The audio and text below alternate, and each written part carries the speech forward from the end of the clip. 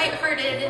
Um, I know you noticed that, of course, as always, Zach and Ada look absolutely stunning. And I'm not exactly underdressed for a coffee shop, but the reason is I actually turned 21 on Wednesday, so.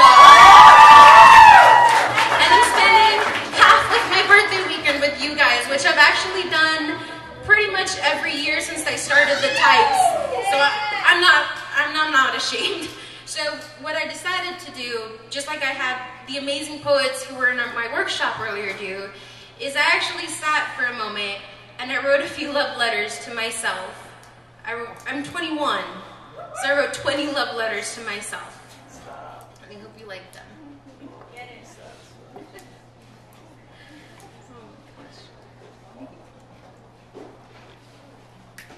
One, I am incredibly person I am incredibly proud of the person you have become. You were a beautiful baby, and I hope when you look back, you will think so too.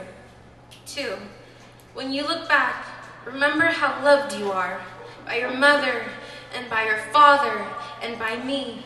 Remember how the pictures frame your face and remember, I think and I always have and will, that you're beautiful. Three, it's called a baby. She's your sister, and believe me, you will love her unconditionally, like she will love you.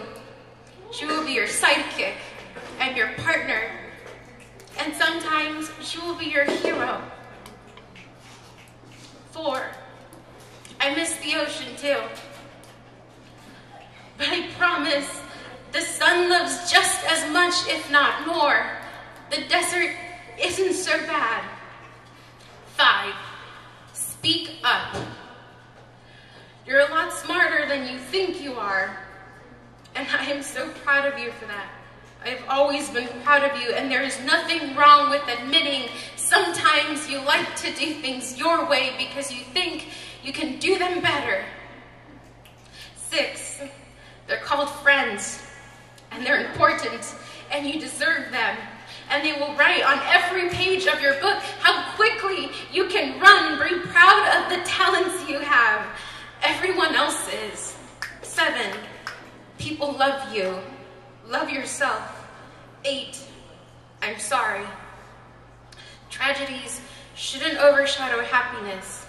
Do not let your tragedies ever overshadow your happiness. Sing happy birthday more often. Nine, you don't like fishing, and this is okay. You like riding your bike too quickly down desert riverbeds, and you like baseball. Be proud of that. They make you different. 10. Your teacher loves dolphins and poetry. You will love poetry. More importantly, you will love. 11. I'm sorry.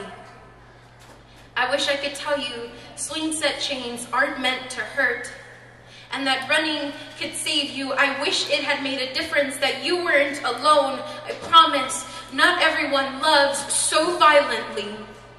12. I'm sorry. Growing pains are not easy, but they're worth it. 13.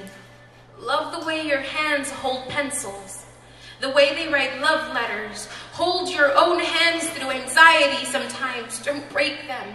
They need you. 14. Love hurts. It doesn't get easier. But you will learn to love like I love you. First loves hurt the worst. I know that.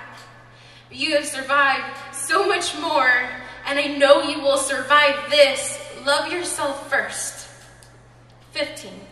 Pictures last forever. You might not like them, so smile anyway. 16. No, you do not need math later. No, this does not mean you can quit. Keep your head up. 17. Watching love die is hard, especially love that isn't yours. They will still love you, I promise. 18. Yes, you spent your birthday reading poetry, and I am proud of you for not being ashamed of that. 19. No, Working is not fun. Amen. No, you cannot quit. There are people that depend on you. Be strong for them. 20. You've made it this far. I'm proud of you, and I know you're going to be fine.